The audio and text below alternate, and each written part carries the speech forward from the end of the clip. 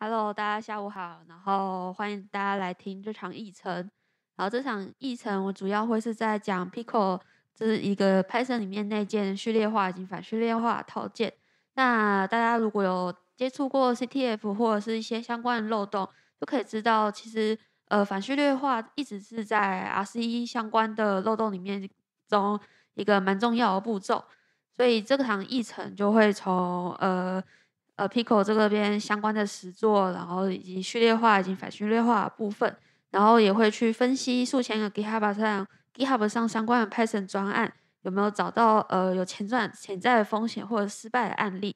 然后接下来就我们就欢迎呃，然后这场是会有会会有 Live Q&A 的环节。然后如果到时候演讲结束，如果有任何想要跟讲师询问的问题的话，都在现场，非常欢迎大家发问。好，那我们就开始听讲师的演讲喽。谢谢大家。嗨，大家好，早安、午安、晚安。那欢迎各位来到我的议程。我的议程叫做 Tempico 系统化的绕过 Retreat Pico 人。哎，然后在开始之前，是真想说一下，大家可能会想说，哎，不对啊，我之前在官网的 Agenda 上看到说，这场议程应该是实体议程，那怎么现在？昨天看又变成电商预录的议程了啊，就有点尴尬了啊。就是前几天了，我去参加 DevCon CTF，然后结果参加参加参加完回来之后，哎干确诊了，然后就不能实体参加了。关于原本来提早订了一天的机票，就是要在要卡在前一天，在三加四的第第四天能够来参加一下的，办法确诊了，嗯，好，这里边线上了。好，所以我现在是在某个神秘的检疫所里面预录这个议程这样子，然后希望我声音不会怪怪的，毕竟我确诊，然后在喉咙有点就是有点沙哑这样子，可能声音会怪怪的。OK，那就像所有的议程一样，就会有一个自我介绍的环节。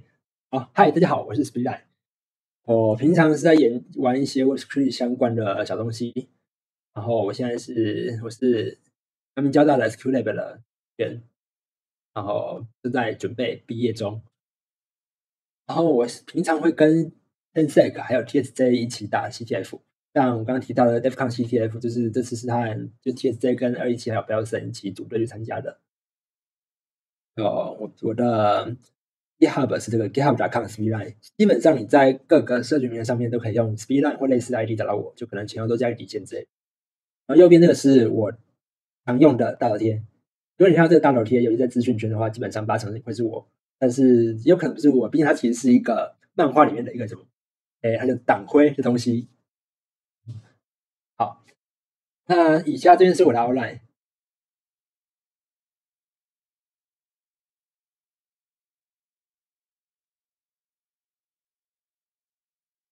对，首先会提到什么是 Pico。我想现在在座各位有可能很多人都已经知道什么 Pico 了，但是毕竟我们的主题是现在建立在 Pico 的概念之上，所以我们还是要为大家介绍一下 Pico 到底什么东西。那接下来我们会提到所谓的 Retreat on Pico 了，也就是我们这次讨论的重点。我会讲到它的实作方法，还有一些绕过的策略。最后我们会简单带到我们做一些工具，一个是 Pico，一个是 Pen Pico。那之后我们会介绍到这些工具。可以。好，首先进到一个环节就是。什么是 Pico？Pico 根据官方文件描述啊，就是一个所谓的序列化还有反序列化 Python 资料结构的一个一个 protocol。很简单讲，它是一个一个用来序列化跟反序列化 library 啊，它可以把随便的一个 Python 的物件，嗯，应该说大部分 Python 的物件转换成一一串二进制的一串东西，你可能看看不太懂它。然后再接着，你可以把那串二进制的东西转换回来，就是所谓的反序列过程。好，那这边就是大概介绍。那等一下会有一个比较实际案例，大家可能比较清楚一点。然后 Pico 实际上是一个 step-based 的 machine，它那些所谓序列化的东西，其实本质上它是一个一个一连串 OP code 的一连串指令嘛，它会在这个所谓 step-based 的 machine 里面跑，会跑跑，然后就要生出它要 return 的东西。OK，我们来看一个实际的案例。这边可以看到说，我们 import Pico 进来之后，就可以用 Pico 点 dumps 这个方法。这个点 dump 这个方法就是实实质上就是所谓的序列化的过程。可以把这串这个 dictionary 是 keys cat，然后只是喵的东西 dump 成这串这串东西，啊，你可能看不太懂的东西，我随便不重要，我们暂时不用去了解它在干嘛。你可以把它 dump 成这个东西，然后接下来你可以用 pickle 点 los 去反序列化它。你去 pickle 点到这一串这串东西之后，它就会变回去这个 cat 喵了。OK，但是但是，但它好像很美好，我们可以很简单的去序列跟反序列化它。但 pickle 其实很危险。那它哪里危险了？其实你也不要深入研究，你就知道，你就可以知道它危险了。因为你去看它的官方文件，它就写了。写了一个红色的大区段，它写了 “a pickle module is not secret”，就是告诉你说，，pickle 这个 module 其实很危险的。如果你去 on pickle，也就是你去反序列化那些你不信任的资料，就是使用者可以任意给的资料，有可能可以造成它可以跑任意的 code，就是它可以直接执行任意的 Python code，甚至是系统指令都做到的。对，这听起来就是超危险的。你可以很轻松的达到呃 RC 或者是。b u s RC，如果你是跑在 local 还是什么 local call execution，然后远端的话就是 remote call execution，反正就是 call execution 对了，它听起来超危险的。那实际上它怎么危险法？你要怎么去 exploit 它呢？我先给一个很简单的范例，因为我们定义了 class exploit，然后给它一个方法要 reduce 底下定义一个东西，啊，你去把它序列化出来之后会长这这个样子，类似这个样子。你不一定这个样子，还是看不同的版本会有不同差异。但是总之就是把它虚化之后，会变成这种东西。接着我们可以看一下这个 reduce 这个方法底下，它到底 return 什么东西？它基本上 return 一个 tuple，是像这个 tuple。然后第这个 tuple 第一个第一个元素它是一个 function，然后第二个元素是又是一个 tuple，它是给这个 function 用的 argument。但是这边来讲的话，就是 ID，就是它实际上执行会是 check output，然后参数是 ID 这样子。所以说这样跑起来，这样跑起来，就你去序列化它之后，去反序列化它，就是 pickle 点 los 去反序列化它之后，会成功执行 check output ID，只成功执行了系统指令，所以就可以成功执行到 call execution。简单来讲，你去反序列化这一串新的字串，它就会成功的执行系统指令了。对。就看起来都非常简单，然后看起来非常危险。换句话来讲，你用 Pico 跟你去直接去 Evo 一串字串，它的危险程度。那其实我们也可以更深入的去用 Disassemble 的角度来看，因为我们前面其实讲过，说它其实是一个 Stack Based Machine 嘛，它基本上就是一连串 opcode 的嘛。那我们用这个 step，我们用 Disassemble 来看的话，我们会看到大概长这样子。首先，它会指定说它的 protocol 版本是多少，然后它会去引入这个 sub process check 嘛，check output 这个东西进来。然后接下来他又把它弄一个 Unicode ID，就是这边是这个字串 ID。然后所以你可以大家看得出来，它是 import 这个 sub process check output 进来，然后然后去把它把这个 ID 设为它的 argument。然后接下来用 reduce 这个指令码去跑，去 call 这个 function，对。然后最后它的 stack 就会长这个长个这个样子。那我想，我想这边讲起来还是会有点模糊，关系，我们继续看下去。大家可以先不用太认真的理解这段在干嘛。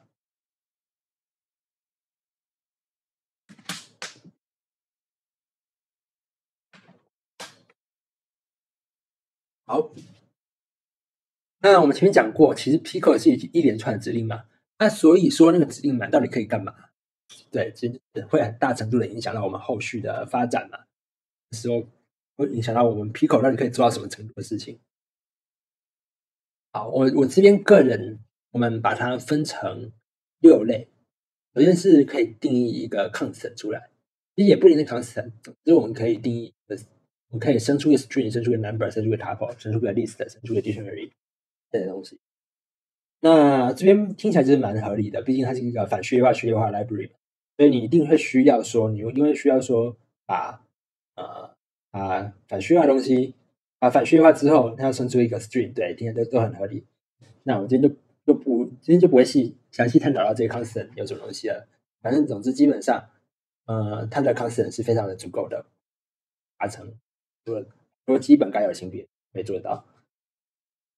然后第二个就比较有点吊诡了，嗯，说吊诡也不太正确，总之它可以执行 c o function。哎，它可以执行 call function 呢？对，就是它可以直接指定说你要你要用哪个 function，你要要用哪些 argument 都是可以做得到的。那它也可以把一些东西 import 进来，可以从任意的 module 里面 import 任意的东西。接下来它还可以执行到 set attribute，是设定属性，像这个你可以直接设定 object 的 attr 是多少，然后，对，你也可以执行 set item，就是就是你可以指定某个物件的索引值是多少这样子。然后其他还有一些 Pico 内部的一些操作了，像你可以怎么，你可以操作它 stack，你可以操作它的资料结构这样子。不过虽然它可以执行 set attribute，就设定属性值跟设定索引值，但它其实不能取得索引值跟属性。那这边会让我们后续的利用造成一定的限制，就是你会发现说，哎，它它其实它其实只能写写入，不能读取。好，那我们把它把把。前面这六项对应到指令嘛，我们会对应到这六项。然后我们再回来看一下这个东西，我们会发现说，这 global 就是所谓的 import 功能嘛，import 东西进来嘛。然后这个 reduce 就是 call function 功能嘛，对，就可以对应到这边 global reduce 这样子。就基本上所有的 Pico 的指令码，目前都可以对应到我们定义的这六项里面。好。那我们来讲一下，有一个东西叫做 restricting globals，那是一个官方文件告诉你的缓解方案，它可以让你一定程度的限制那个 Pico 的 globals 的引入东西。嗯，具体来讲，像是这样子，我们前面那那串 disable 的东西，我们看到这个东西啊，然后这 global 指令嘛，它就确实是一个用来，嗯，用来引入东西的。那引入东西，引入东西的时候，它其实会 trigger 到一个叫做 find class 的东西。find class 的东西，对你引入在 Pico 里面引入任何东西的时候，会触发 find class。那 find class 到底什么东西啊？事情是这样子的：你在反序列化的时候，你在 unpicker 的时候，基本上它是经过一个所谓的 unpicker 的 instance，然后它底下会定义一些定义一些方法，然后其中方法就叫 find class。那这个 find class 可以去继承它，可以去继承它下来。然后继承它下来之后，你就可以，啊，你比如说你可以去继承一个 unpicker，继承 unpicker 下来之后，你就可以自己去定义这个 funclass 在干嘛嘛。那 f u n c l a s 具体来讲是怎么样呢？它其实会产出两个参数，一个是 module，一个是 name。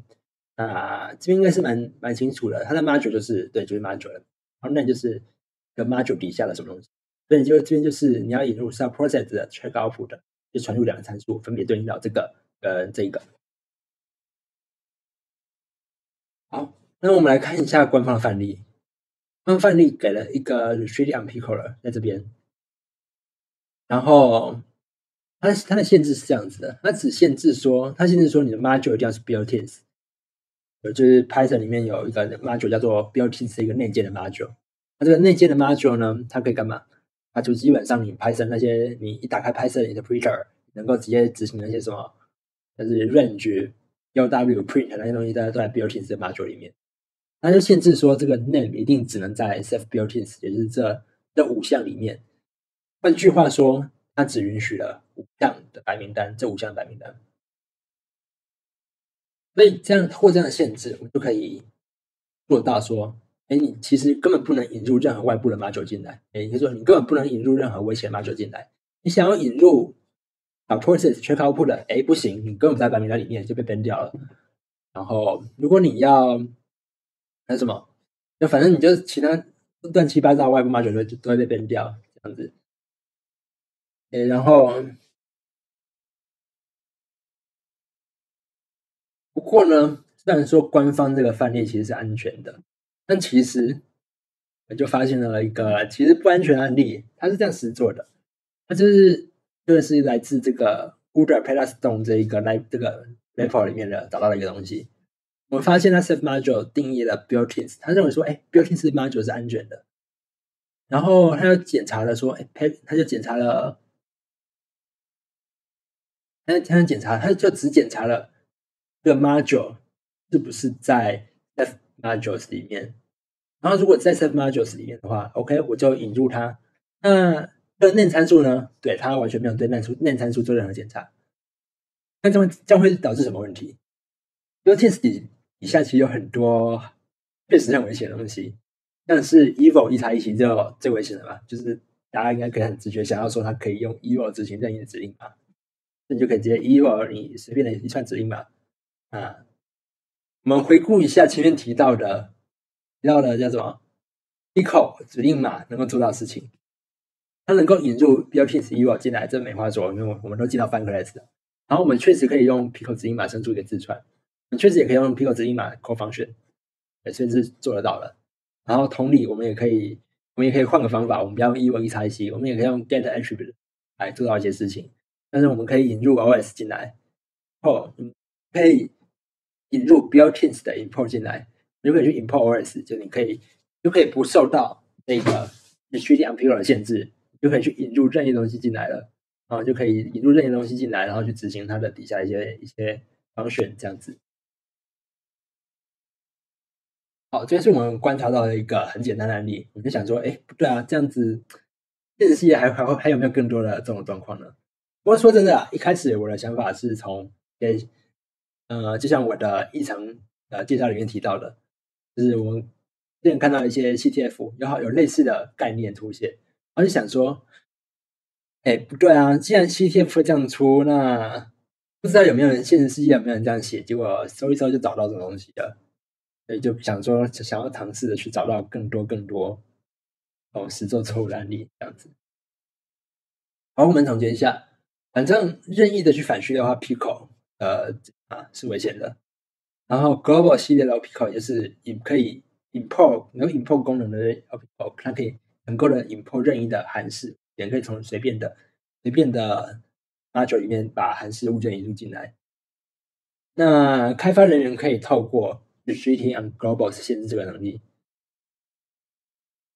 就是基本上是 global 系列的 p i c 然后触发到 find class 的一个方法。然后开发人只要去覆盖掉 find class 这个方法，我们就可以自定义一些白名单。但是，但是要怎么正确的设定 restrict global 就是一个大问题了。OK。那这边值得注意的一点就是，所谓的 retrieving globals 是开发人员设定的，哦像我们前面看到了，retrieving globals 是开发人员设定的，所以开发人员要怎么样，要对这个 Python 或者是对 Pico 有足够了解，他来他才能够正确的设定好它。好，所以这边就有点好 tricky 的部分，开发人员真的懂 Python 吗？他真的，或者是他真懂 Pico 吗？所以接下来我们就要来谈谈开发人员会怎么去实做 retrieve on people 的。哎，开发人其实实做方法非常的多，然后我们就要尝试去绕过他们实做。所以在开始绕过之前呢，我们要讨论几件事情。首先要讨论一下实做差异，就是我们对方的 find class 到底是怎么取得要要引入的物件的，还有对方的 find class 到底怎么进行限制的。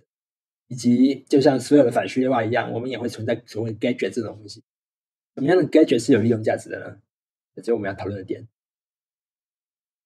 在我们实际上去绕过之前，我们就必须要讨论这两点，我们才可以，就了解对方到底怎么做的，我们才可以去绕过嘛。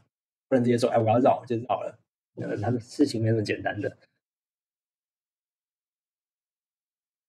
那首先，我们第一点，实作差异，它是怎么取得物件的？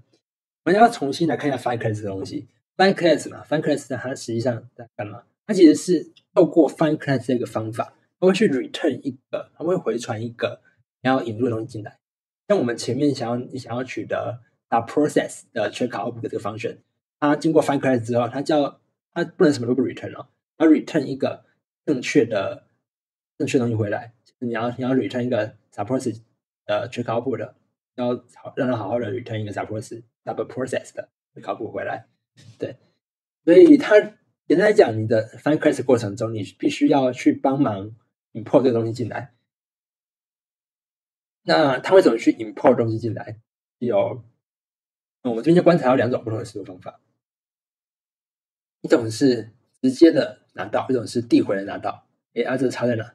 我们先先来看直接拿，直接拿很明显嘛，就是他直接从 module 底下拿他的。他的属性值，它就是 suppress 底下缺靠谱的，直接把 suppress 底下缺靠谱的先拿到，然后拿回来结束，很简单。那有一种叫做 recursive get，我们我们是这样叫它啦，反正就是它会去递递回的去取它。嗯，这听起来有点怪，就是什么叫递回去取它？嗯，事情是这样的，其实 Pickle Pickler 这个 Pickler 这一个 class 它原原生定义的 find class 方法，其实就是递回的。那很多开发者就会直接很很自然而然的去取得 super 的，也直接去取得原生 Unpickled 的 find class 来用，就是最直觉的做法嘛。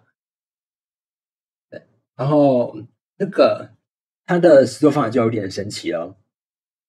你去 find class 的时候，你去做 unpickle 的 find class 的时候，它会去解析这个 name 参数，这个 name 参数，它去深度的解析它。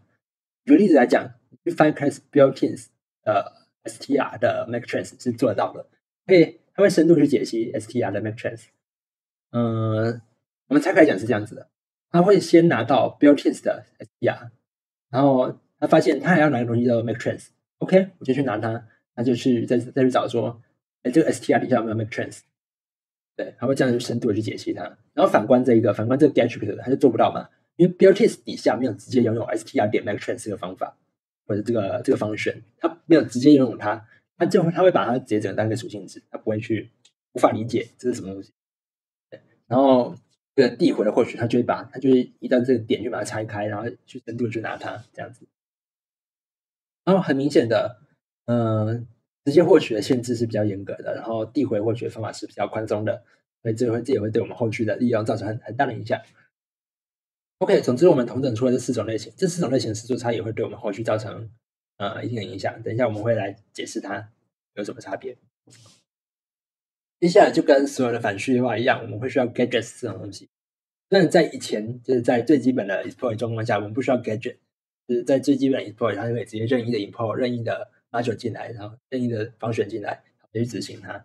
所以其实我们不需要理解 gadget 这个东西，反正全世界都是我的 gadget，只要你有什么 module 就去 import 它，import 它进来就是就是我的 gadget 了，赞，我们不用管它。那但是我们现在已经有，我们现在已经被限制了，所以我们要在这些限制的底下找到找到可以用的 gadget 这样子。那什么是 gadget？我们还是简详细来定义一下它，就是 gadget 就是一段段程式码，然后攻击者可以去重复的利用它。所以基本上是一个 code reuse 的攻击方法、手法。然后在我们的案例里面，它通常都会是一个可被呼叫的一个 option，在我们案例里面。但其实，在实物上或在一些特别的呃 H case 里面，还是有一些例外啦。这样。那为什么我们需要 gadget？就是我们想要去抵达那些危险的方选。像是我们前面一个前面最基本案例就是 suppresses 的 check output 的嘛。我们可以透过这个方选，那它本身就是一个 dangerous 方选，它本身就是危险函数。但是我们现在没办法直接抵达这个地方了，我们需要间接的去抵达这个点，或者是我们可以补足，可以补足 p i c o 指令码的不足，然后让我们进行更活用利用，这样子。好，那我们今天归纳出了三种我们比较常、比较实用的 gadget。首先，第一种是危险的函数。第二种是取得，第三种是取得。好，啊，我想第一个就是很明显的嘛，就是我们如果能够直接抵达一个某个危险的函数，那很很简单的，我们就可以直接执行这里 code。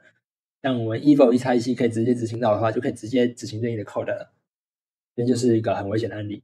那还有一个案例是，呃。还有第二个，第二个 case 就是它可以有取得属性值的功能，就像我们前面提到的 eco 指令码，它原生只能做到设定，它只能做到写入，它不能做到读取。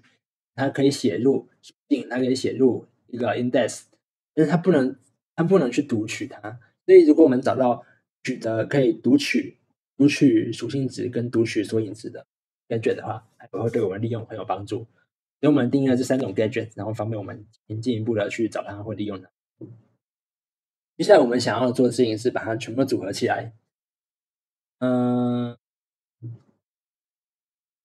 好，这有点跳，就是总之，现在我们要开始绕过了。在开始绕过的时候，开始绕过的时候，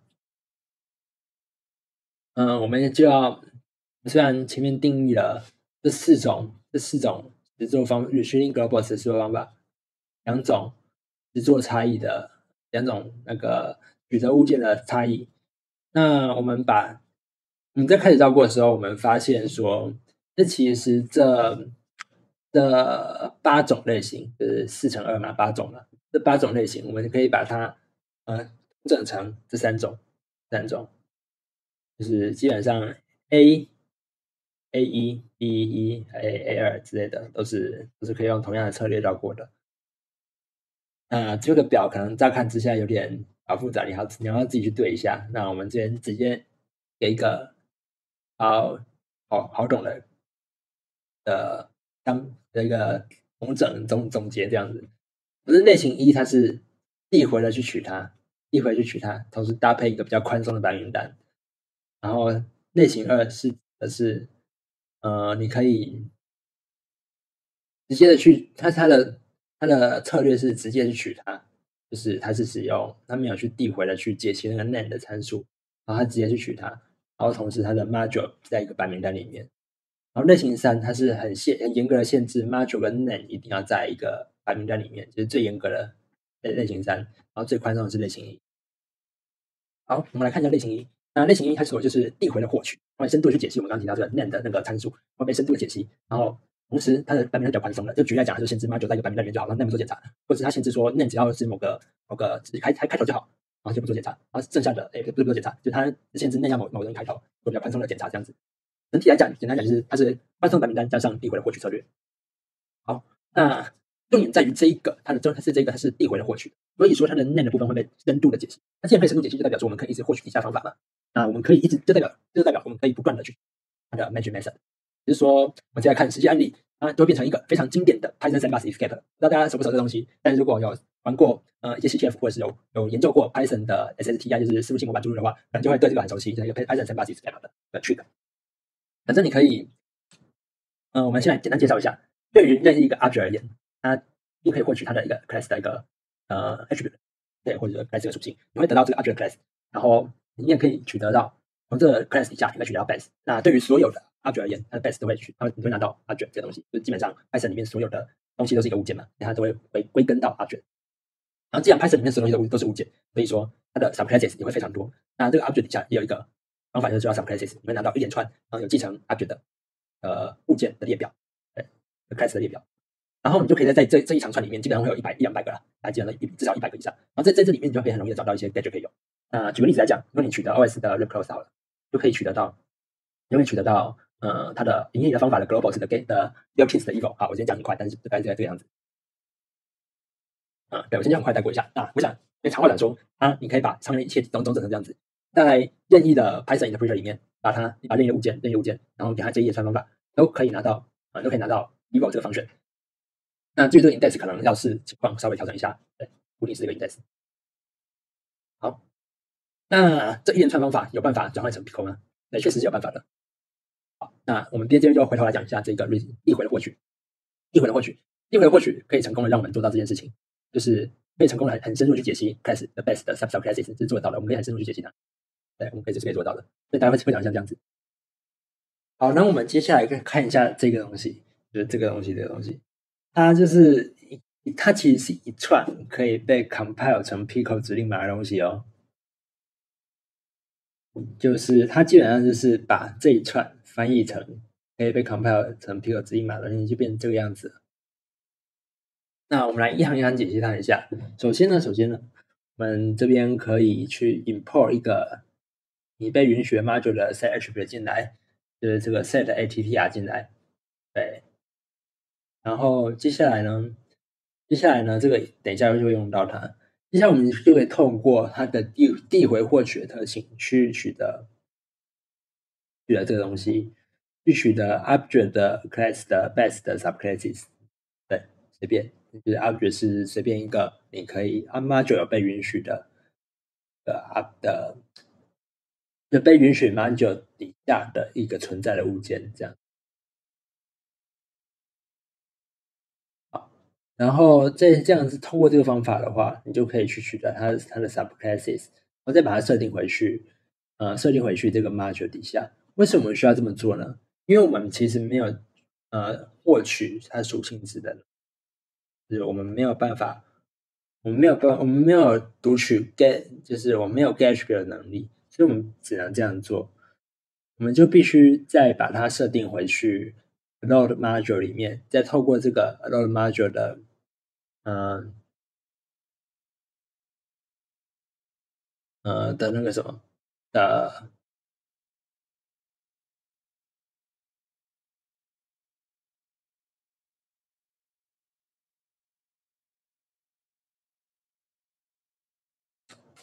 那我们来看一下这个东西。这东西其实就是一个一个可以被 compile 成 Pico 的的虚拟码。嗯，对，就可能有有点神奇，但总之这是可以被 compile 成 Pico 的虚拟码的。基本上是把这串东西翻译成一个 Pico 可以接受格式啊。对。那我们来仔细来研究一下这个在干嘛。首先，它会。它可以用 global 这个指令码来引入这个你被允许的 module 底下的这个 set attribute 的这个属性值进来，对，是把它拿进来。然后接下来要干嘛呢？接下来这个等一下会用到我们这个 set attribute 的东西。接下来我们就可以利用它所谓的递回获取特性，深度的去取得它的 class 的 best subclasses，这样子把它捞进来。捞进来之后，捞进来之后，我们就会拿到 subclasses。是这个东西的列表，我们去抠它，拿到它的列表，然后接下来把它设定回去，设定回去这个 module 底下。哎，那你会想说，为什么我要这么做？因为我们 Pico 指令码原生它并不并不存在取得属性值的功能嘛，然后所以我们必须要透过所谓的递回获取特性来帮我们取得它的属性值。总之，我们这样你就可以取得它的某个特定 index，然后接下来我们就一连串的操作，就之后。就可以拿到 evil 的存在了。那既然我们都拿到 evil 了，就我们就可以做任何想我们想做的事情。哎，大功告成。那我们来做个实际案例分析。哎，就回来我们前面提到的这个 Uber 的 p e t a s t o n e 这个 library 了。对，这是 d a v r 有趣的点就是，虽然我们刚刚最前面的案例，我们其实是透过它的白名单的，它白名单的 builtins 来绕。但其实我们可以根本不用知道它的白名单有哪些，我们可以不用知道它 s e v e module 有哪些。它 s e v e module 就算没有 builtins 也没关系，毕竟它是使用 super 的 find class 这个方法，然后来捞到东西的。然后它同时没有对 name 做检查，所以确实我们就可以直接，我们可以直接，我们这我们这边就这次就不用 builtins，我们这边用 p e t a s t o n e 这个它内部的某个 library，我也没去研究它干嘛。那我们通过这个方法之后，我们就可以很顺利的捞到 evil 的存在。对，我们就只是套套个模板而已，只是把这个模板套套过来，套过来而已。我们不用去了解它在干嘛。然后我们观察到它是它是这一个石头方法，我们就可以直接套模板，套完结束收工。好，那我们来看一下类型二，类型二之后就不是套模板了，就我们没有模板可以用了，我们要认真去找 gadget 了。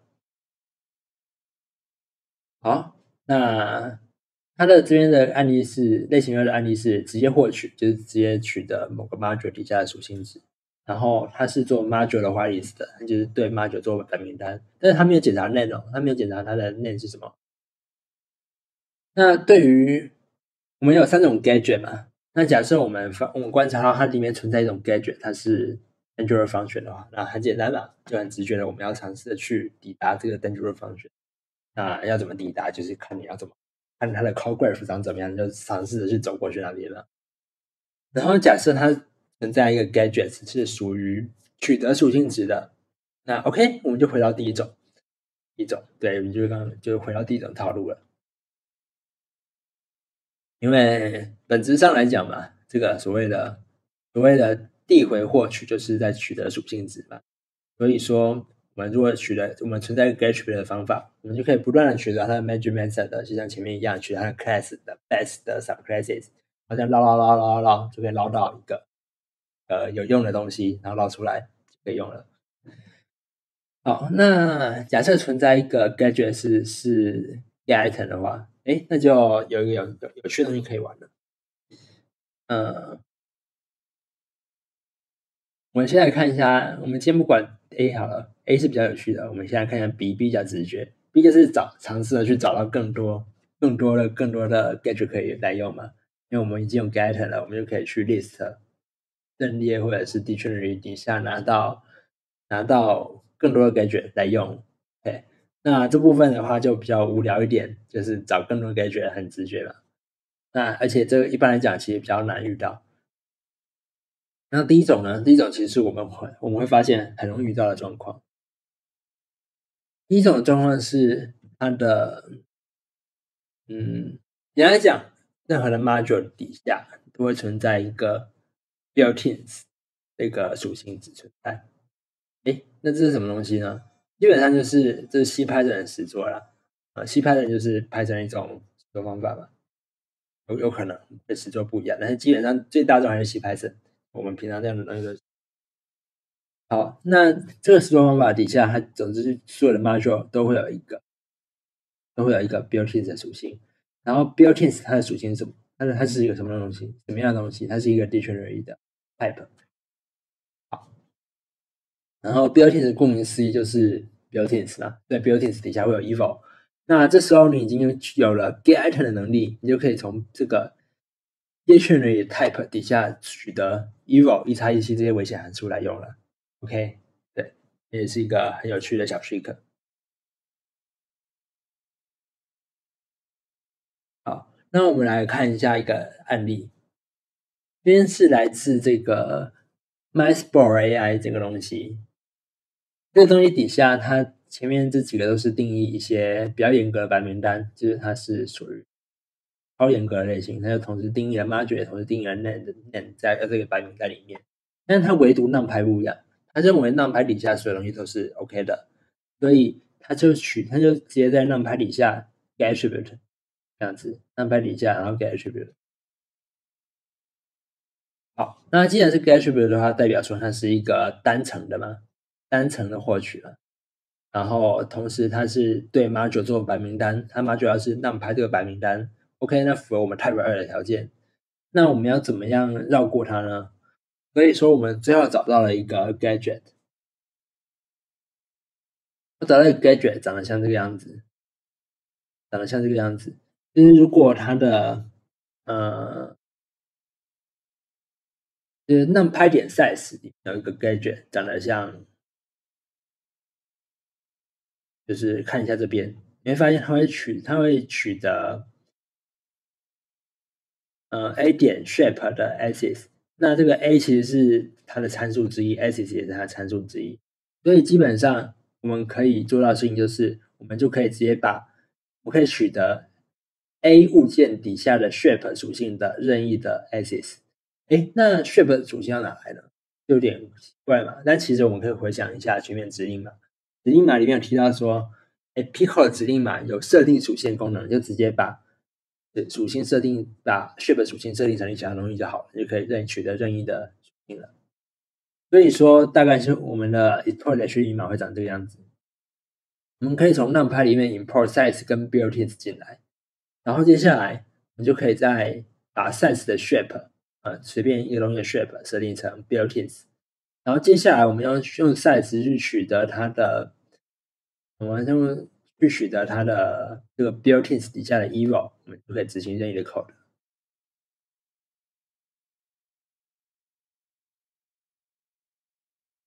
然后最后进到 type 三，也是最后一个类型了。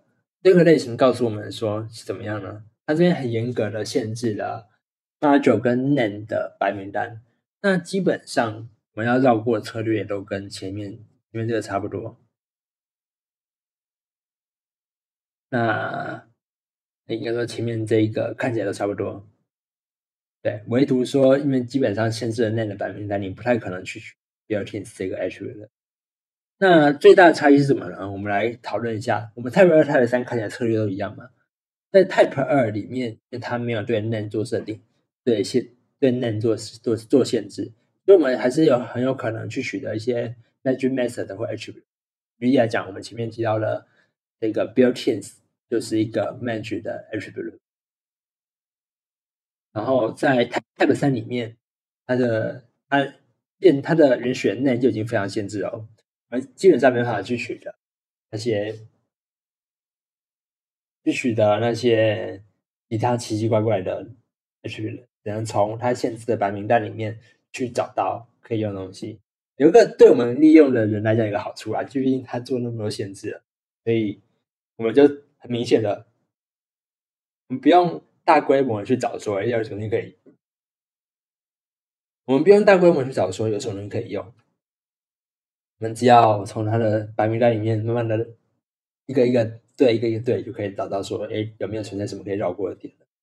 所以在这个 Type 三里面，它的 Gadget 就变得非常重要了。我们只能透过 Gadget 去绕过，我们基本上没办法透过 Magic Method 来绕过了。那我们来看一个案例。先是我们找到一个案例，我们找到这个案例，它也是它也是设定了一个非常严格的白名单。它既然设设定了，我记得是五六个啦，五六个白名单这样子。然后它设定这五六个白名单的话，它就会。他做什么事情？他就检查这个 module 跟 name 是不是在这个 safe globals 里面。然后我们就找到了这两个啊这两搭配其实是可以被 exploit。啊，具体来讲怎么样呢？具体来讲是这样子的。它其实它在它的这个 setting function 在 init 的时候，它其实有做一些有对有一些做检查，叫 self 点 code。这 self 点 code 什么时候用到？在这个呃，code 的时候会用到，但是有趣的事情来了，code 的时候它其实并不会去对这个呃对你的 code 做检查。呃，对，嗯，我们应该这样这样这样讲好了，我们应该先看到这个 set state 这边，就是首先你在直接 init 的时候，它其实是会对对这个 code 做检查的，哦。但是它在 set state 这边，它其实不会对 code 做检查，直接帮帮你 compile 它了。然后最后最后最后在 code 的地方，它就可以去 evil 它。所以说，我们就可以选择不管这个 init，就不不经过 init，然后让然后不对，这样子就不会通过这个 security check 了。所以我们就可以进到先进到 set state，再进到 code，再进到。就可以进到 evil 了，可以执行任意的指令。呃，那 exploit 序码大概长这样子，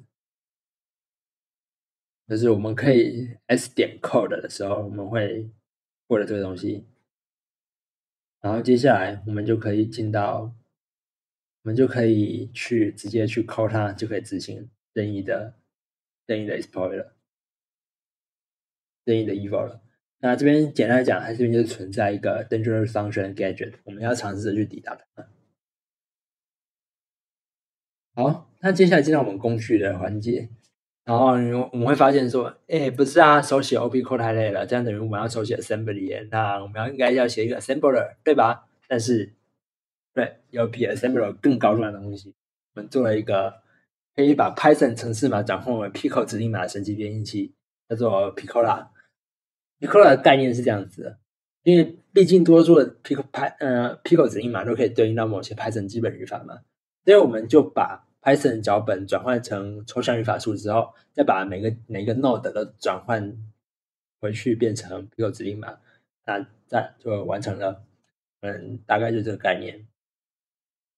然后，毕竟我们在写 Python 嘛，所以其实你可以用 Pico 写排解爬虫，像这边这边这边。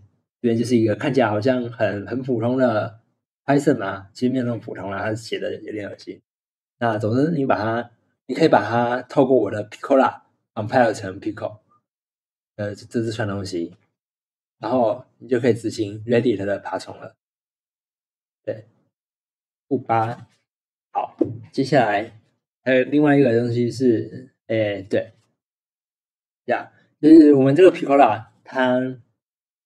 基本上，我们前面的这些虚拟码、这些虚拟码、这虚拟码，还有这虚拟码，就是我们前面提到各种虚拟码，都是可以用这个 Picola compile 成 Pico Pico 的，就是省下我们手写手写 Pico 的一些很多功夫。然后也，而我也会讲，觉得说，哎，不对啊，自己找 gadget 慢串也太累了，所以我就做了一个，做了一个。小工具可以做成做自动生成 exploit 这样子，但其实这个小工具还在很初期的阶段，就是还在一个纯粹是 POC 的阶段。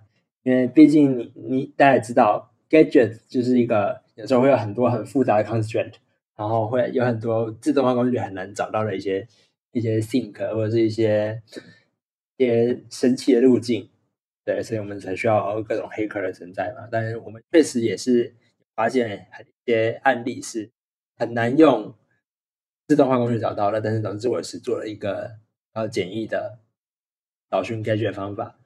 那我采用的方法是使用动态跟静态结合的方法来做 gadget problem。那你可能会想说，为什么是动态跟静态？就为什么不要纯粹静态就好了？就只是找 gadget 而已吗？因为有的时候 Python 里面很它动态特性还蛮高的嘛，你可以把随便一个 function 绑在随便一个 module 上，然后这时候就很难去慢慢去 trace 它。所以就总之它是动态生成的某些 class 或 function 就很麻烦。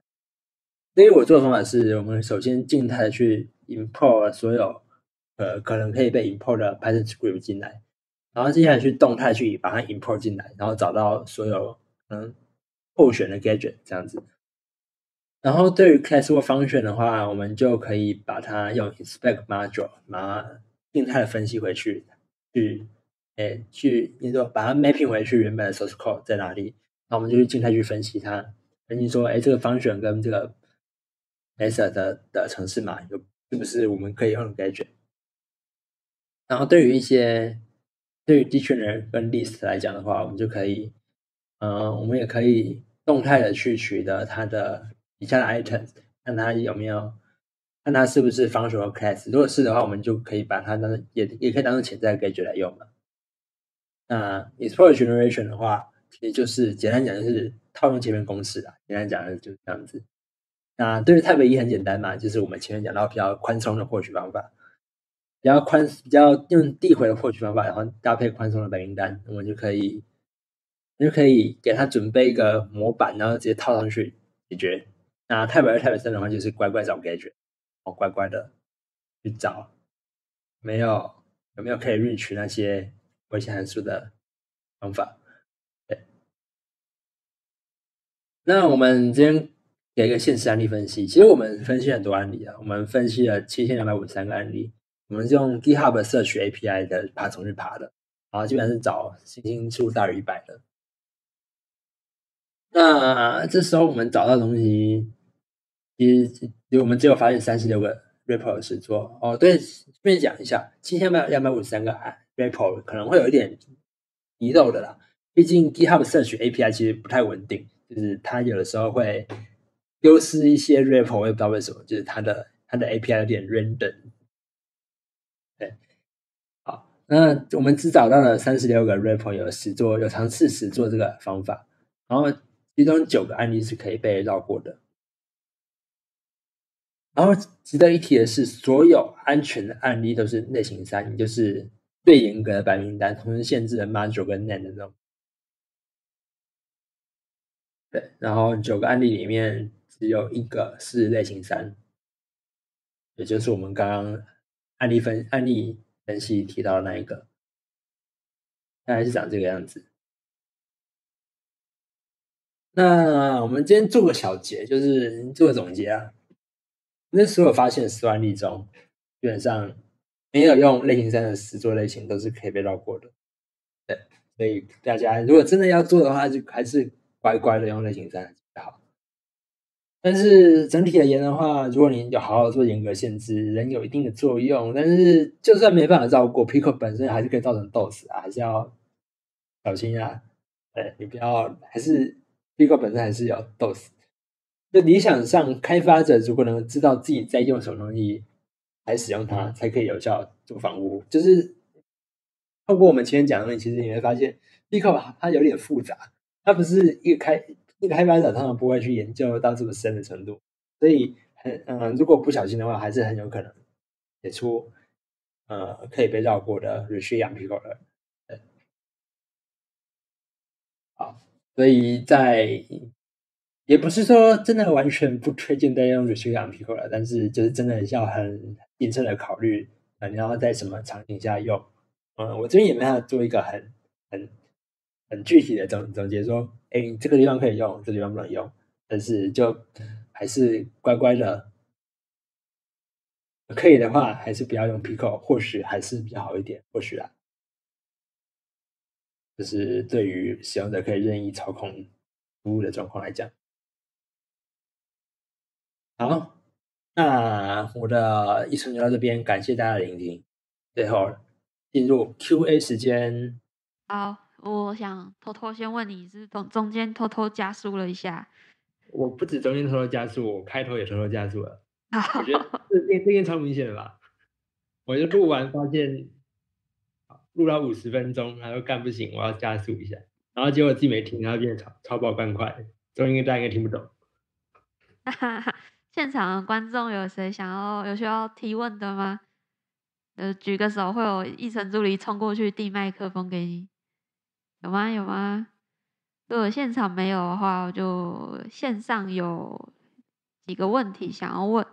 就是第一个是有什么推荐指南是可以比较安全使用 Pico 相关套件吗？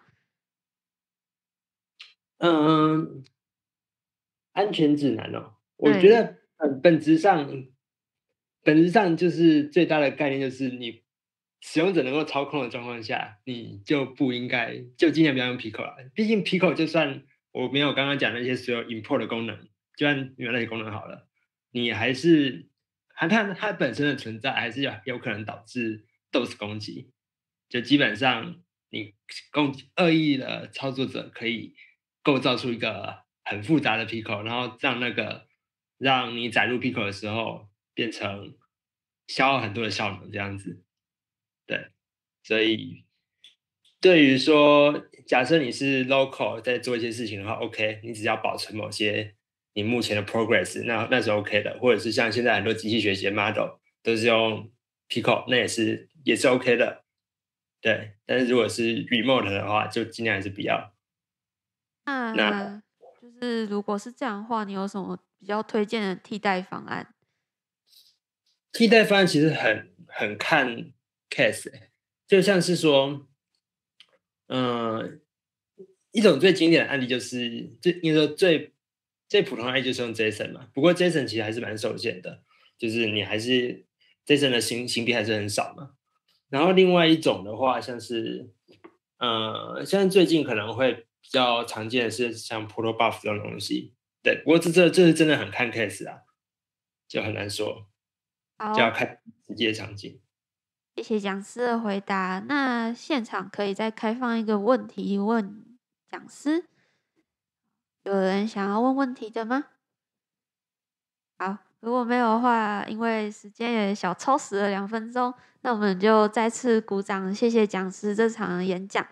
好，也谢谢大家的参与，谢谢大家。